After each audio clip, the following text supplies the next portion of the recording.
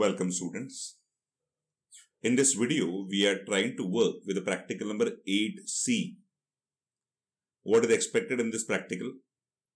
Create a web application to display using disconnected data access and data binding using grid view. So let's see what exactly a connected data access and disconnected data access. Disconnected data access is using the concept called as dataset as discussed in lecture. So in this practical, we will be using dataset approach and dataset will be connected towards your grid view. So a table has been created, namely employee under our database called as BSCIT.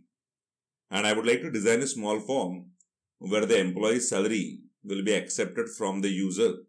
And when the user clicks on a button, all the record which are greater than the accepted salary will be displayed.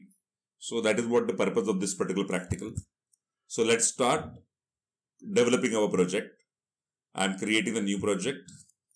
ASP.NET Web Application, .NET Framework. Given a click on Next. Given the name of this project as Practical 8C.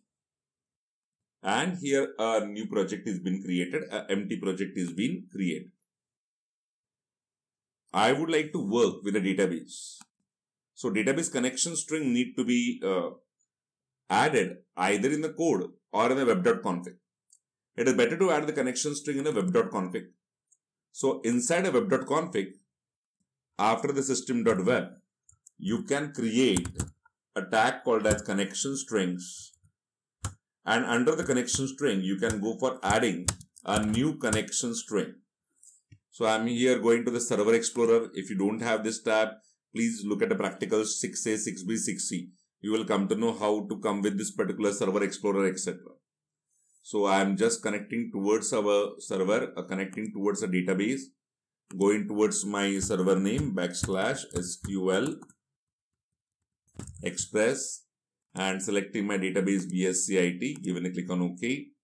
Then I'm just right clicking on the data connection, going to its properties, and copying the connection string, pasting the connection string over here and the name of my connection string, I am interested in providing it as C1. So fine, one connection string got created over here. Sorry, things I deleted something. So connection string has been added inside what here web.config which is named as C1.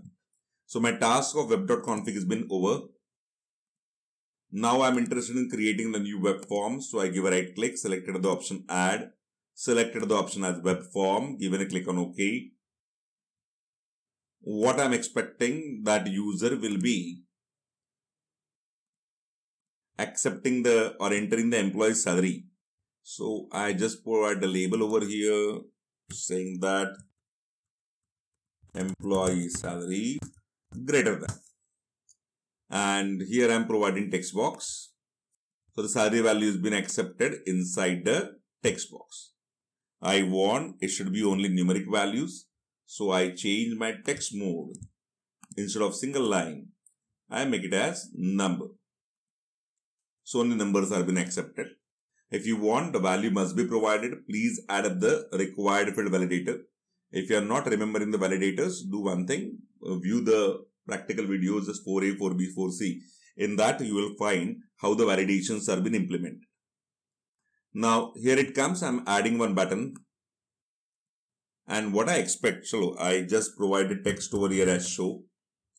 And what I expect when a user clicks on a show, the data from the employee table must be displayed as per the given condition in the grid view. So I need to add up a grid view control. So under the data category, I am taking a grid view and directing the grid view on my page. If you need to change the format, you can set up the format in whichever the colors and option which you like. Fine. No need to set up anything right now over here. Now, we will start working everything with the code because we are using disconnected approach of data access.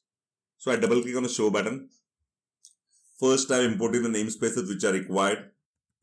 They are using system.data as well as using system.data dot sorry using system.data.sql client.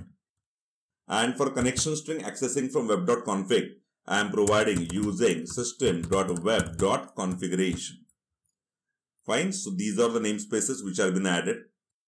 Moving ahead, first I need to establish the connection. So I require to retrieve the connection string from web.config.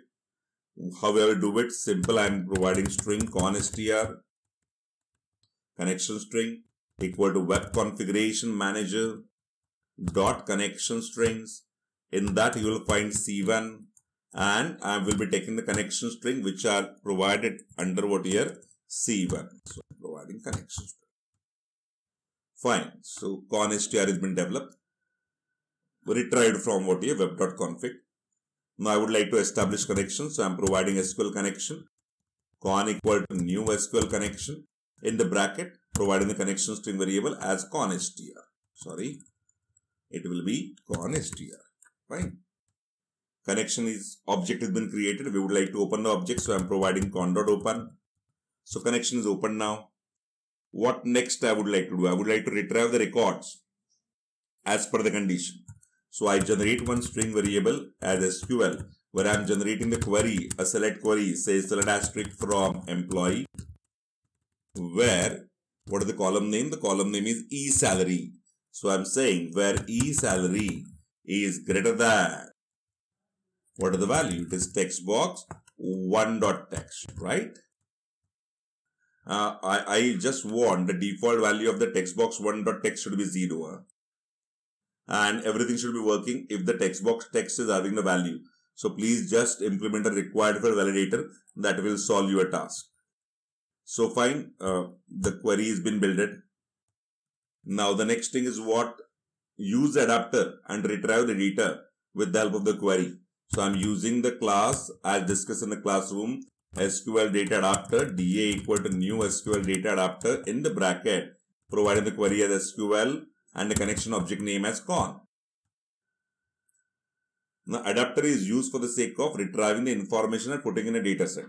So first I create an object of data set by saying data set ds equal to new data set and filling up the data set by using adapter. So I'm providing adapter should fill my data set and whatever the table values are there in data set, those must be reflected inside a grid view. So I provide grid view 1 dot data source equal to data set of tables of 0.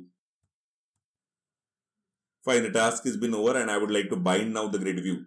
So I am providing grid view 1 dot data bind and then planning to go for closing the connection, not opening the connection. So saying con dot close. So my task is over. Let's see really it works fine or not. So run my program. And here in a text box, I will be providing the value as 0. So all, all employees are above 0. So whatever the salaries are there. Right. So all the records need to be displayed if I'm putting over here in a text box as 0. So I just provide 0 over here and given a click on show, you will find all salary displayed. Whereas if I'm trying to provide the salary over here as 10,000, so you'll find only the records where the salary is about 10,000 displayed. If I'm trying to go for providing the value as 20,000, you will find all the records where the salary is about 20,000 they are getting displayed. So this was been expected with your practical number 8C. So stay tuned with us and please subscribe the channel.